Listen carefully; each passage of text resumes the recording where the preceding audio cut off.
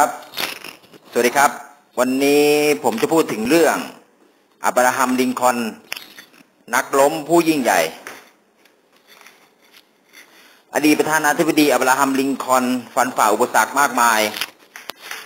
บ่อยครั้งที่เจียนอยู่เจียนไปเพราะถูกเข้าใจผิด ถูกลอบฆ่า ถูกโกง ถูกฟ้องล้มละลาย แต่ถ้าเป็นชายชาติเสือถือคติ เหมือนชาวจีน ไต้หวันที่ชอบสะสมตุ๊กตาล้มลุกของ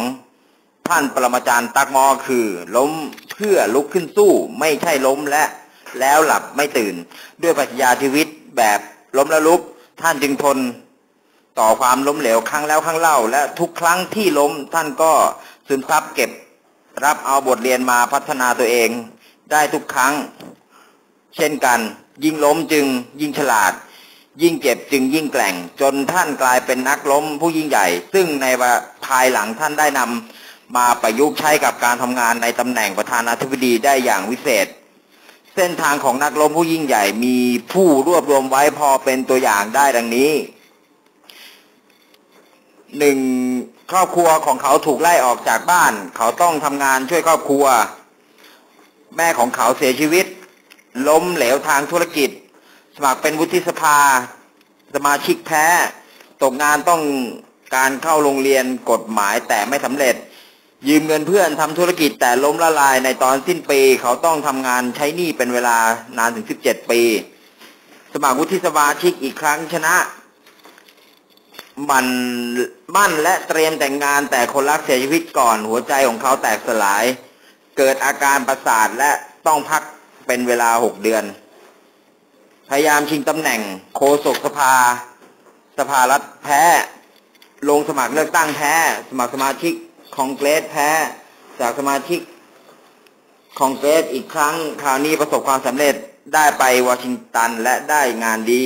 ลงสมัครเลือกตั้งเป็นสมาชิกกองคองเกรสอีกครั้งแพ้ สมัครงานในตำแหน่ง เจ้าหน้าที่ดูแลที่ดินที่บ้านเกิดของเขาถูกปฏิเสธ สมัครเป็นวุฒิสมาชิกของสหรัฐอเมริกาแพ้ พยายามให้ได้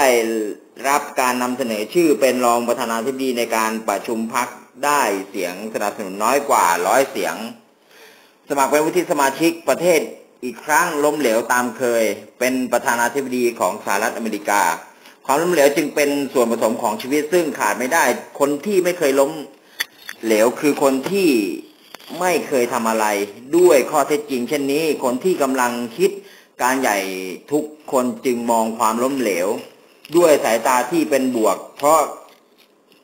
เขารู้อยู่แก่ใจว่าความล้มเหลวเป็นฝาแฝดกับเขา กับความสำเร็จ ความล้มเหลวกับความสำเร็จเหมือนด้านหัวและด้านก้อยของเหรียญเดียวกัน เราหยิบด้านหนึ่งขึ้นมาอีกด้านหนึ่งก็ติดมาด้วยอย่างแน่นอน ข้อสำคัญคือเราจะเลือกหยิบด้านที่เราต้องการขึ้นมาและรักษาให้ด้านนั้นอยู่กับเราได้นานแค่ไหนเท่านั้นเองนะครับ วันนี้ผมจบไว้เท่านี้นะครับ สวัสดีครับ